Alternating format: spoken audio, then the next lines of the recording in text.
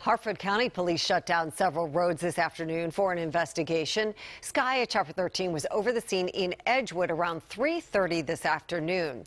It appears at least one vehicle was involved in the crash. Police shut down Edgewood Road between Hanson Road and Willoughby Beach Road after the unknown incident. We will bring you more information on this police activity once it comes into our newsroom.